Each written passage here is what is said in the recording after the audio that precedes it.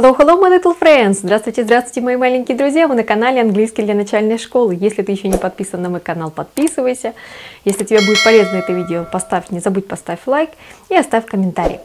Итак, ребятки, э, меня попросили рассказать, как э, легко и быстро запоминать английские слова. Существует э, много разных способов запоминания слов. Я вам поделюсь одним из способов, которым я пользуюсь. Итак, я вам выписала слова, эти слова из сказок, которые мы с вами читали. Я вам покажу систему, как я их запоминаю. Если вам понравится эта система, пожалуйста, ей пользуйтесь. Сначала мы учим английские слова с английского на русский, а потом с русского на английский. Запоминайте. Baker – пекарь.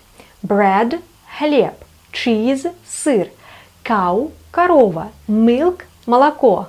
Mouse – мышь. House – дом. То есть вы спускаетесь вниз по лесенке. Теперь мы поднимаемся по лесенке. House – дом. Mouse – мышь. Milk – молоко. Cow – корова. Cheese – сыр.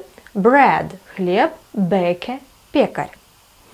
Теперь через один. Baker – пекарь. Cheese – сыр. Milk – молоко. House – дом. House – дом. Milk – молоко. Cheese – сыр. Baker – пекарь. Теперь те, которые мы не назвали слова. Bread – хлеб. Cow – корова. Mouse – мышь.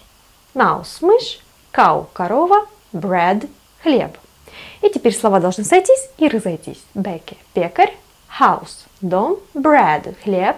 Mouse – мышь. Cheese – сыр. Milk – молоко.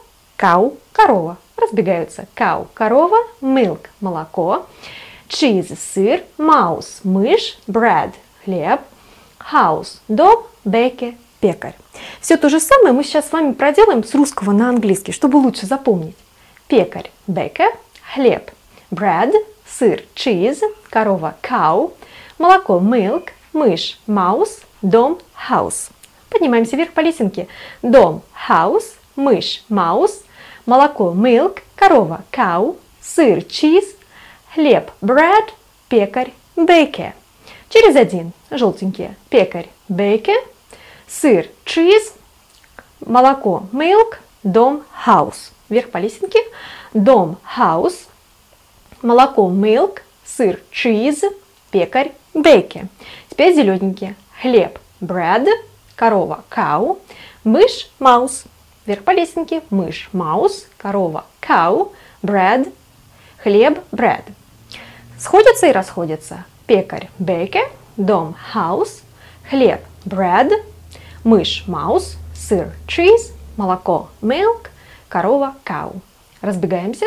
Корова – cow, молоко – milk, сыр – cheese, мышь – mouse, хлеб – bread, дом – house, пекарь – baker.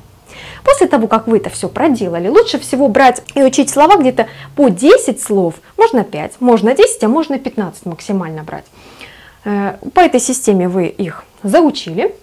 Э, потом, э, потом вы должны эти слова обязательно прописать. Каждое слово прописывайте не менее 10-15 раз, как мы это делали с вами, когда мы с вами учили слова по карточкам. Правила чтения мы с вами учили. Вообще для эффективного запоминания слов лучше завести специальную тетрадку, ребятки, в которой будет слово записываться.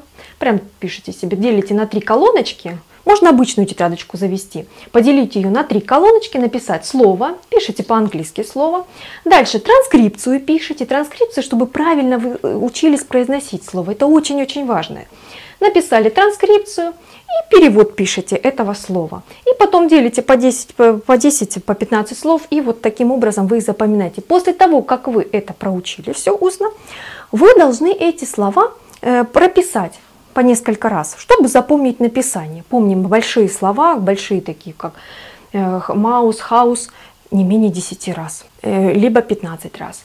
Э, у меня есть тетрадочка, не знаю, вот будет видно, вот такая тетрадочка, это специальная тетрадочка для записывания слов английских. Ребятки, для эффективного запоминания слов нам понадобится вот такая тетрадочка. Есть специальная тетрадочка, а можете э, завести просто обычную 48-листовую тетрадочку. В этой тетрадочке, чем а, вот эта тетрадка удобная? Тем, что э, в ней Она уже расчерчена на три колоночки, в которой есть слово, вы записываете слово английское, транскрипцию, звуковое обозначение слова и перевод. Эти все слова новенькие записали и выучили. И если вам нужно будет повторить, то вы всегда можете открыть эту тетрадочку и воспользоваться ей. А наш урок подошел к концу. And now the lesson is over. Goodbye.